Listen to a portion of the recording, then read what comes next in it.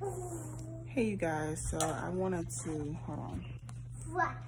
I wanted to do a video. Sit down. Go play with your toys.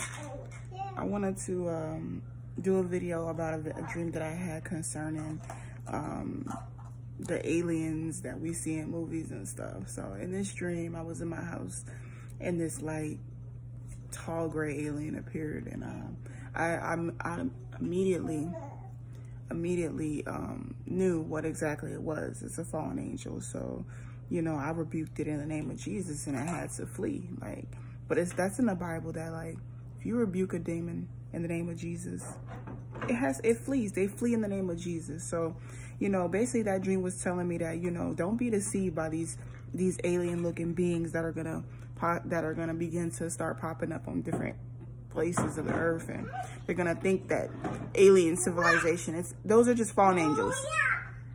Be quiet.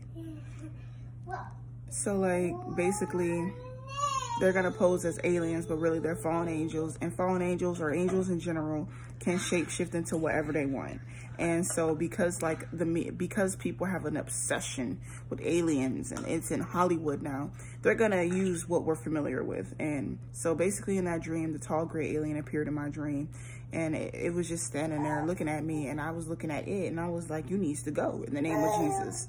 And it did go and it did.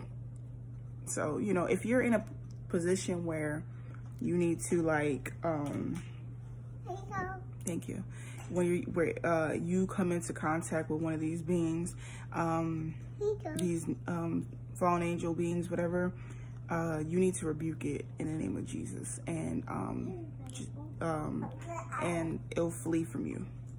Like if you uh, like, let's say, you know, they start they try to take you into their spaceship or something like that.